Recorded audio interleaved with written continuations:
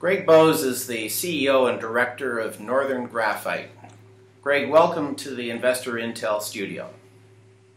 Pleasure to be here again, Fred. I understand you've just been in China and Japan and you have uh, learned more about the local graphite market there. Perhaps you'd tell us what you learned. One of the big takeaways from China is that the high end of the market, which is what we call the XL or double XL flake, which would be plus 50 or plus 32 mesh material, is in fact undersupplied. The market would, if there was a reliable, consistent source of supply, and uh, therefore manufacturers are forced to um, substitute lower quality grades. Uh, that's very good news for Northern Graphite because we have the only true large flake deposit. 90% of our production is large flake, uh, by far the highest in the industry. And 60% of our total production is the uh, plus 32 and plus 50 mesh uh, flake. So you know, a big part of our strategy, therefore, is an offtake agreement on traditional underserved markets that are here and are real uh, now. Greg, I had a, I had a cell phone battery die on me, which was very upsetting. It was only three years old, and uh, I'm certainly looking down the road at, at perhaps buying an electric vehicle someday. I'm certainly not planning on having a car that's only three years old with the battery die on it. Um, what, what's happening in the technology with regard to batteries that is affected by graphite?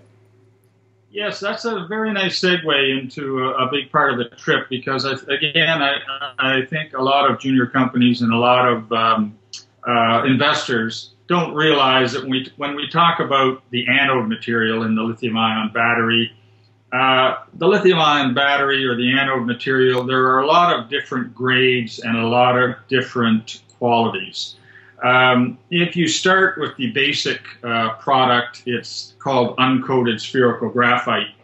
And it's pretty all produced in China because they use hydrofluoric acid for purification, which is one of the nastiest substances known to man would be very difficult to do in the West. So if you're a junior that wants to produce in the West, you have to have an alternative solution for purification, which Northern does. Um, I'm not aware of any other junior that has now announced one and does, done the extensive testing and engineering and design work and scoping work that we've done to come up with a real solution. So you have to do that first. And then we have what's called coated spherical graphite, which is a final product that goes into the battery. And this is where we come to your question.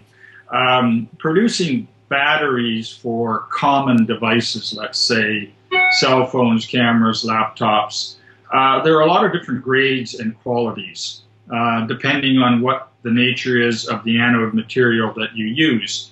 It's not a I would say, overly difficult process to uh, make those batteries. And again, you might have, have cheap batteries from a cheap manufacturer in your cell phone.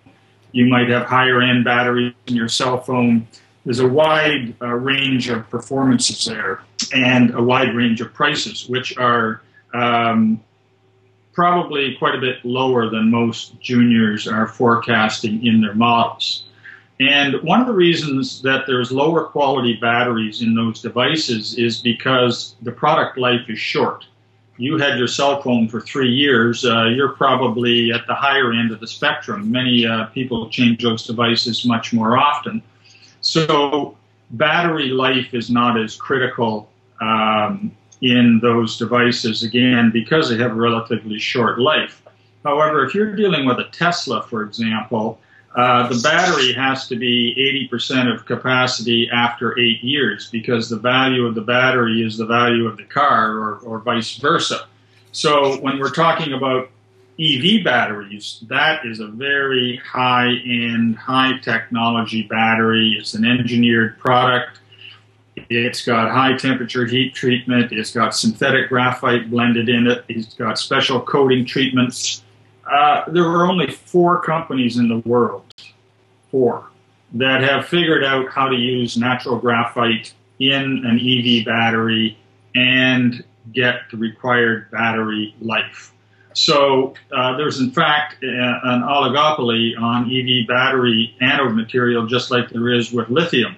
So again, if we go back to the junior companies who are saying they're going to make spherical graphite um, for electric vehicles, there is a huge technological challenge there to catch up to those four. And uh, is Northern one of the four, Greg? no, we are not. We are a wannabe. Uh, those four would be big companies like Hitachi and Samsung and so forth. So Hitachi, for example, produces the anode material that goes into Panasonic batteries, which go into Tesla cars. So if you're a junior company that wants to produce anode material and get it into any car, whether it's a Tesla or anybody else, you've got a serious amount of qualification work to prove that you have the technology that your battery will still be 80% capacity after eight years and will not do what your cell phone did and die after three. Otherwise, the car is essentially worthless. There's synthetic graphite as, as well as the flake graphite. Uh, my understanding is that that's being used in EV batteries currently. What are the positives and negatives about synthetic graphite? Uh, yes, uh, synthetic graphite is a manufactured product, so historically it's had more of a consistent quality than natural graphite, uh, which has to be processed uh, to get it up to that uh, quality. And generally, um, the synthetic graphite um, has a uh, it charges faster and it has a longer life is a, is a simple way of putting it uh, and but it's much more expensive. So natural graphite is much less expensive and it has a much higher capacity in the batteries. So the electric car batteries are generally made out of synthetic except for those four that I mentioned because they have figured out how to blend natural in with synthetic to combine the best uh, qualities of both material. And the big one is uh, controlling expansion, which causes the battery to break down and uh, reduces cycle life. So only four companies have the secret recipe of how to do that, which leads to a lower cost, higher capacity, uh, long life battery. So the trend is definitely towards more natural because it is cheaper, because it has higher um, higher capacities. Uh, they um, do not say what the uh, secret recipe is in terms of blending uh, natural and synthetic.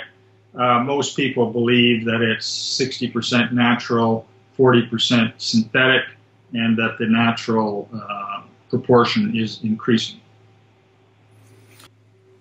Many pundits are, are predicting uh, strong growth in the EV market. How's that going to affect graphite pricing generally?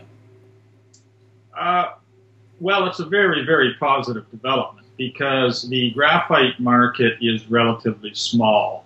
Uh, 370,000 tons a year of flake graphite production. Not all of that is suitable for being converted or upgraded into um, anode material for electric batteries. I don't think anybody really knows what that number is. Maybe it's two or three hundred thousand tons, but those kinds of numbers, uh, the uh, amount of natural graphite that you would need for, let's say, a million electric vehicles a year, which is a little over 1%, 1% of the new car market, you'd probably have to double the uh, annual supply of world graphite uh, production. So um, that's obviously not going to happen overnight. Uh, we also have grid storage, continued growth in the smaller devices. So the supply demand outlook for graphite is, is extremely bullish. Uh, it has not led to higher prices yet, but we've seen the first couple upticks in the last uh, few months, uh, the first since we've seen since 2012. So hopefully graphite does what lithium has already done, and that is that the price has spiked because of battery demand. And we think that's coming for graphite as well. Well, you've positioned Northern Graphite then as North America ounces of graphite. Uh, you've got a technology for purifying it, which is not uh, sensitive environmentally. What else have you got in your up your sleeve, Greg, for the rest of this year? Um, well, I kind of turn it around and say, uh, look at it the other way. The problem with most graphite deposits is that production is too large for the size of the market. And the reason uh, companies are modeling high production rates is because capital costs are high, and that's the only way to kind of make the economics work. Forgetting about the fact that those high price or high production rates are going to cause uh, prices to go down. Uh, there's a high percentage of fines and non-battery grade with those projects, and they don't have the technology for upgrading it to spherical graphite. And Northern does not. We um, have an advanced stage project in Ontario, full feasibility, major environmental permit. We're starting at 20,000 tons per year, which is a more realistic number. We have a high percentage of large flake and a very low percentage of fines, and we have a purification technology for upgrading it. So we like to think we have the whole package already. Great story, Greg. Thank you very much. Well, it's been uh, six or seven years in the making, and hopefully the best is yet to come.